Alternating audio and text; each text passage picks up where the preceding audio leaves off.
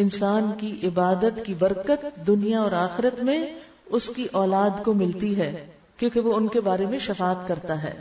اس کی اولاد کے جنت میں بھی درجے بلند کیے جائیں گے، تاکہ انسان اپنی اولاد سے آنکھوں کی ٹھنڈک پائے۔ قرآن مجید میں آتا نا کہ ہم ان کی اولاد کو بھی ان سے ملا دیں گے۔ الحق نہ بہم ضروریت ہوں کیونکہ انسان اس وقت خوش ہوتا ہے جب اس کے بچے، اس کی اولاد اس کے ساتھ ہو کسی بھی خوشی کے مقام پر۔ لیکن یہاں جو اصول ہے وہ یہ ہے کہ والدین کی نیکی کا اولاد کو لازمی فائدہ ملتا ہے۔ پیرنٹنگ کا ایک بہت بڑا اصول، بچوں کو نیک دیکھنا چاہتے ہیں، خود نیک بن جائیں۔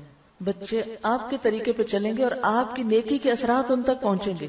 تو جب بچے ستائیں، جب بچے پریشان کریں، نیک راستے پر نہ آئے تو دیکھیں ہم نے تو اس عمر میں کوئی غلط کام نہیں کیے ان پہ توبہ کریں۔ یا پھر یہ کہ آج میری زندگی میں تو کوئی ایسی چیز نہیں کہ جو میں اللہ کی نافرمانی کی کر رہی ہوں۔ کیونکہ جب انسان اللہ کی نافرمانی کرتا ہے، تو اللہ سبحانہ تعالیٰ ان لوگوں کو جو اس کے ماتحت ہوتے ہیں، اس کا نافرمان کر دیتا ہے۔ اور اگر انسان نیک ہوتا ہے، تو صرف زندگی میں نہیں، مرنے کے بعد بھی اس کی اولاد کی حفاظت کی جاتی ہے۔ کسی کا کہنا ہے کہ جب بھی میں کسی سلجھے ہوئے نوجوان کو دیکھتا ہوں، خوشحال انسان کو، تو مجھے یقین ہو جاتا ہے کہ ضرور اس کا باپ سالے اور نیک ہوگا۔ کیونکہ قرآن مجید میں آتا ہے وکان ابو ہما صالحہ کہ ان کا باپ نیک آدمی تھا۔ تو باپ جب نیک ہوتا ہے تو اولاد کو دنیا میں بھی اس کا فائدہ ہوتا ہے۔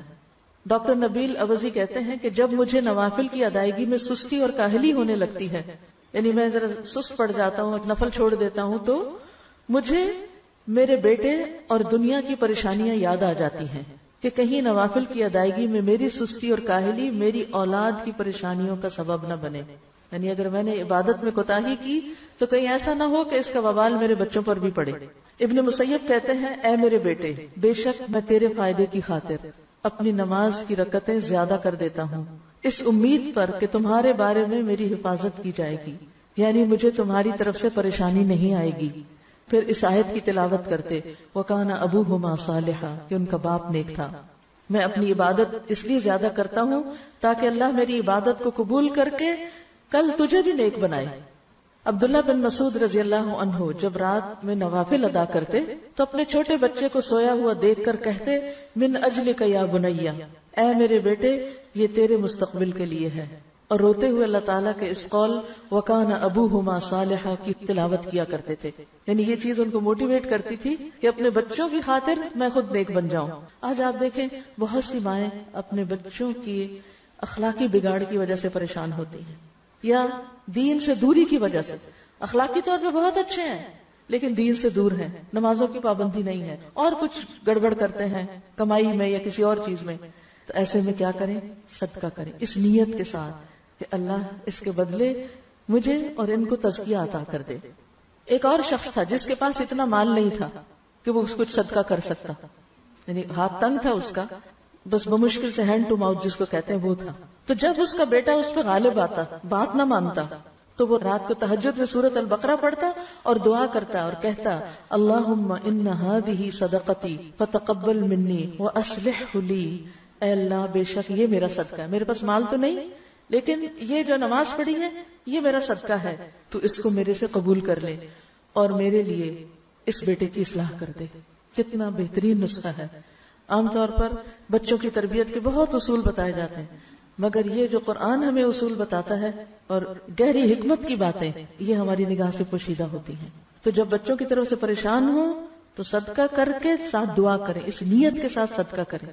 اور دوسرے بچوں کے ساتھ خیر و بھلائی کے کام کرے انشاءاللہ آپ کی اولاد کو بھی اللہ سدھار دے گا۔ اسی طرح ایک شخص تھا کہ جب اس کا کوئی بیٹا اخلاقی طور پر بگڑ جاتا یعنی کوئی غلط کام کرتا، تو وہ شخص صدقہ کرتا، لوگوں کو کھانا کھلاتا اور کہتا خود من اموالہم صدقتا تطہرہم و تزکیہم بہا کہ ان کے مالوں میں سے صدقہ لیجیے، اس کے ساتھ آپ انہیں پاک کریں اور انہیں صاف کریں۔ تو گویا، صدقہ جو ہے، وہ انسان کے گناہوں کا کفارہ بنتا ہے۔ اللہ کے راستے میں دینا، بخل سے نکلنا، انسان کو خود بھی فائدہ دیتا ہے اور اولاد کی بھی بھلائی کا ذریعہ بنتا ہے۔ اور اس میں شاید پہلے بھی کبھی ذکر کیا میں نے کہ میرے تفسیر کے استاد تھے، وہ کہا کرتے تھے کہ جب میرے پاس کوئی خاتون آ کے یہ کہتی ہے کہ مجھے کوئی دعا بتائے میرا بچہ کھانا نہیں کھاتا، چھوٹے بچے جیسے تنگ کرتے ہیں، تو میں ہمیشہ انہیں کہتا ہوں، کسی غریب کے بچے کو کھلاؤ، تمہارا بچہ خود ہی کھانے لگے گا۔ تمہارا بچہ نہیں پڑھ رہا، کسی اور کے بچے کو پڑھاؤ۔ یعنی جہاں دیکھو کہ کمی ہے جس راستے میں، وہ دوسروں کے ساتھ بھلائی شروع کر دو۔ جب تم دوسروں کے ساتھ خیر اور بھلائی کرو گے کسی اور کے لیے سوچو گے اور دور جانے کی ضرورت نہیں، اپنے ہی گھر میں بچے ہوتے ہیں، اپنے نہیں تو اپنے بہن بھائیوں کے، دیورانی جٹھانی کے اور بچے۔ بچے تو سب معصوم ہوتے ہیں نا۔ تو دوسرے بچوں سے پیار کرو، دوسرے بچوں کا خیال کرو، انہیں کچھ کھلاؤ پلاؤ۔ تو دیکھو کہ کس طرح تمہاری اولاد میں اس کی خیر و بلائی لوٹتی ہے۔ تو وہ صدقہ کر کے کہتے، اے اللہ، یہ صدقہ میرے بیٹے کے اخلاقی تزکیے کے لیے ہے۔ یعنی میں نے یہ صدقہ کیوں کیا ہے؟ کس مشکل کی آسانی کے لیے؟ اپنے بچے کے تزکیے کے لیے کہ اس کو تو نیک بنا دے۔